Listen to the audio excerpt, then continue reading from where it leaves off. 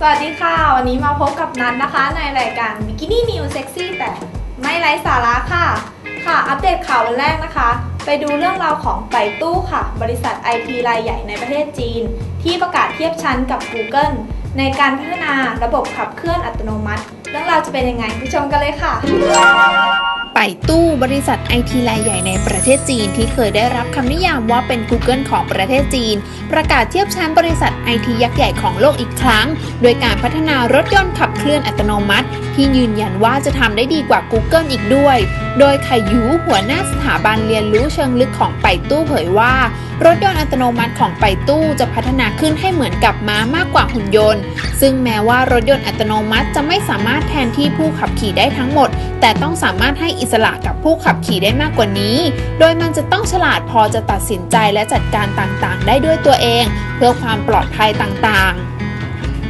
ถึงแม้ว่าการใช้ม้าเป็นต้นแบบจะเหมือนกับระบบ Adaptive Cruise Control มากกว่า แต่ก็เป็นแนวคิดที่น่าสนใจไม่น้อย เพราะม้าเป็นสัตว์ที่มีสัญชาตญาณด้านการระวังตัวสูง และสามารถตัดสินใจในสถานการณ์ต่างๆ ได้ดี จึงน่าจะทำให้รถสามารถตัดสินใจ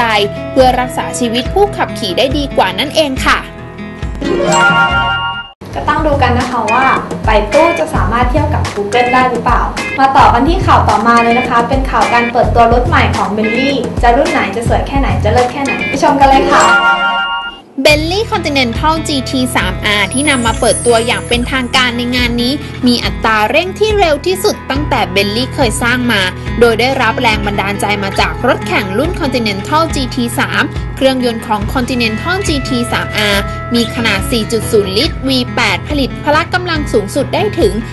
572 แรงม้า และแรงบิดสูงสุดอยู่ที่ 700 นิวตันเมตร และด้วยการลดน้ำหนักตัวลดลงอีก 100 กิโลกรัม ผสมผสานเข้ากับระบบการกระจายแรงบิด และการลดระยะเวลาการทดเกียร์จึงส่งผลให้ผู้ขับขี่ได้รับประสบการณ์การขับขี่ที่ยอดเยี่ยมมากยิ่งขึ้น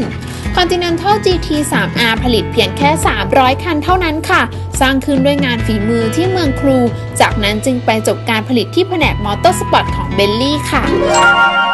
ค่ะ เป็นไงบ้างคะถูกใจกันไหมคะ กับ Bentley Continental GT 3R สำหรับวันนี้นะคะ หมดเวลาของนัดลุงแล้วค่ะ มาพบกันใหม่ในรายการ Bikini New Sexy แต่ไม่ไร้สาระค่ะ ขอบคุณบิกินี่สวยๆ จาก L ค่ะ สำหรับวันนี้สวัสดีค่ะ